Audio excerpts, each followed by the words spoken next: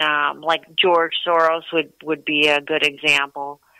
And um, then I wrote, um, I, well, I I can write one book, why not another? And then I wrote Halo of the Damned and uh, Halo of the Nephilim, and uh, again, that was uh, a lot of, about angel lore in the book of Enoch, uh, fallen angels mating with humans, which is in the Bible. And again, these are Bible stories, but alien believers, uh, um, a Nephilim is an extraterrestrial, Uh-huh. which could be also be called an angel, mating with a a human, or, or as we might call it, a hominid, because they had all kinds of man was in all kinds of forms back then. We we seem to think that Neanderthal was the only other kind of man, but no, there was like I don't know, ten, twenty different kinds of hominids, like these man-like creatures, and that's how we got to be us, um, Homo sapiens. So, um, again, it talks about angel lore and um, fallen angels, and um, that one got pretty popular. And then, now, are um, they are they able to still find that book in the bookstores or anything or Amazon? Actually, I have three free books on Amazon right now um, till Sunday night, eleven fifty nine p.m. So um, please, listeners, please download them on your Kindle. They're free. Um, you know, enjoy them. If they're not for you, oh well, you didn't lose any money. Um, but um, they're uh, they've been reviewed several times, gotten fantastic reviews from book reviewers. Uh, they're uh, generally a, a big hit with everyone who's read them. Um, but my most my two most recent books are the bestseller and the sequel. And again, I'm diving into the whole uh, Nazi angle for the technology that we have. And uh, in those two books, I've got like uh, two streams going, and and one's about a general who finds um, a Nazi, or uh, I'm sorry, a Jewish prison uh, during World War II, and he and his platoon or squad or whatever free these Jewish prisoners, but then he also finds uh, a Nazi uh, scientist hiding in this prison, and um, the lab is clearly um, he, the guy's clearly a geneticist. He's splicing different species, Uh-huh. and there's um,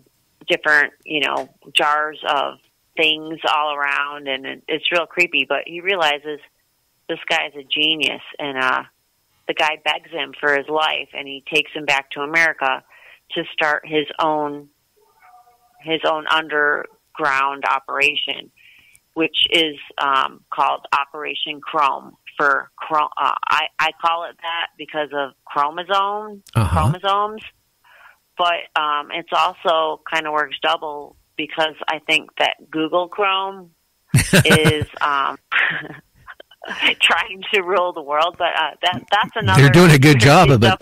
They're doing a good job of it. Uh, uh, this, So- I just want to say this because you mentioned that. Um, the person I talked to, uh, it uh, worked with the government, uh, like I was mentioning, said that uh, actually uh, they are tied in with the government. Yeah. Yeah. So, oh, I bet yeah, they're doing or- their dirty work. Yeah. Oh, I, hey, I want to interrupt you. My um, producer wants to say something, so I'm going to put him on here. His name's Kevin. Hi, Kevin. Hey, how's it going? I just Good. want- How are you? Uh, pretty good. I just wanted to say to all the listeners listening right now, if you check out www www.nightdreamstalkradio.com, you can find all of all of her books on our website. And thank you. Okay. Well, thank you, Kevin. And that was nice Oh, of you to do that. Thanks, Kevin. Hey. Okay. So that. Uh, oh yeah, and and that book's still available. Oh yeah, Yeah, that that would Oh, be a yeah. good that would be a good read.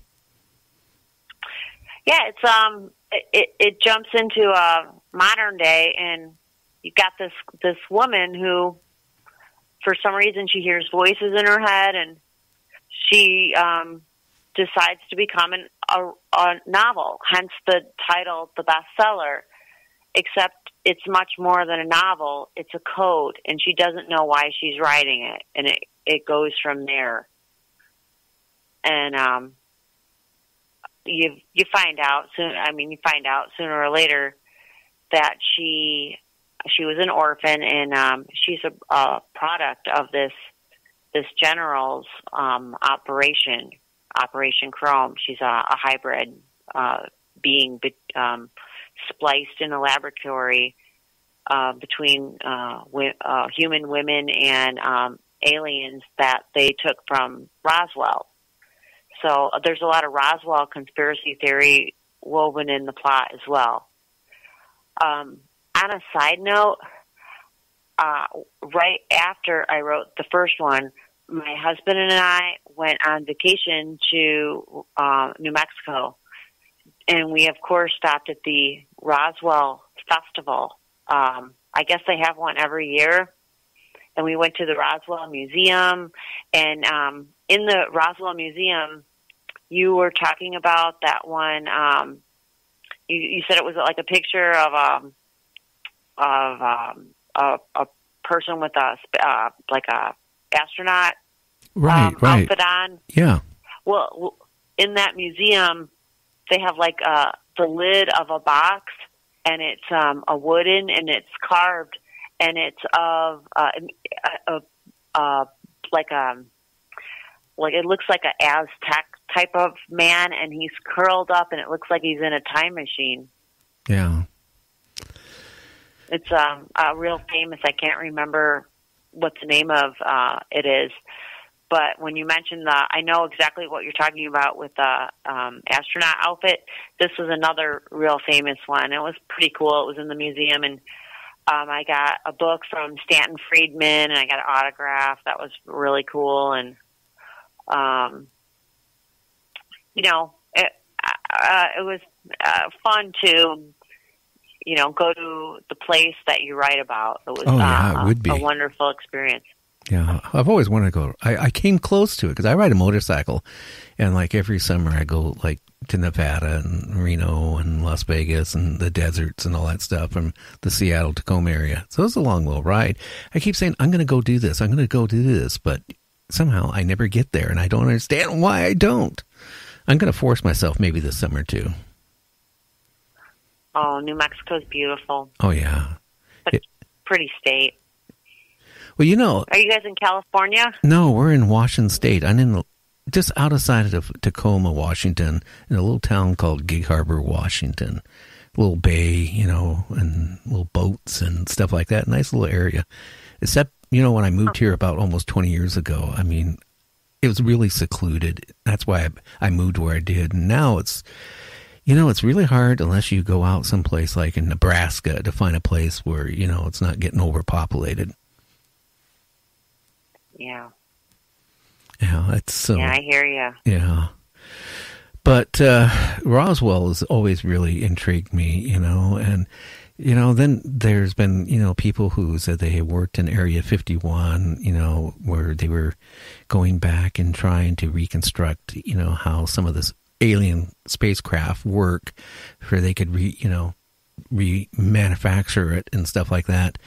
And then it seems like when they said stuff, either their credibility was totally destroyed, uh, or uh, in cases uh, where some of the people come out and said this is what's going on, like I mentioned earlier, they would be driving their car and all of a sudden, boom, they were in a major accident and they were killed. So I don't know. It just, I don't know. I, I, Yeah. you know, conspiracy is you can sit there and I just know that there is a lot more going on than what we know, and I do believe, you know, that we're being visited.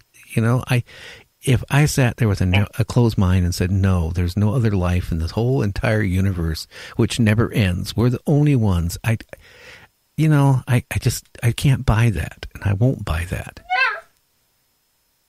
Uh, right. I I agree. Uh, I do, and uh, I do believe there's just too many legitimate. Uh, there's a lot. Uh, hey, don't get me wrong. There's a lot of fraud out there. There's a lot of people who claim they see spaceships, claim that they were visited, claim they were adopt, uh, abducted, and they're obviously just looking for attention.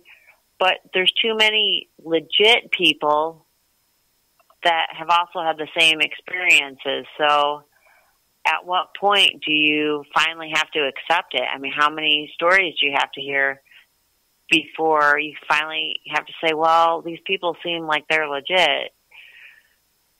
Yeah, and then you so. go go back even to like in Germany, what they were doing in the prison camps, right? They were going through and trying to alter the DNA uh, and create a superhuman and all this stuff. It makes you wonder. I mean, I don't think uh, the experimentation just because the war ended would have stopped. I, and it just makes me wonder. You know, what is actually going on? I just I just think things are so much more in depth than me and you could even begin to comprehend, and that's what's scary. Yeah, we're living in dangerous times. That's for sure. Uh, we're um, don't be surprised if your show gets cut off one of these days.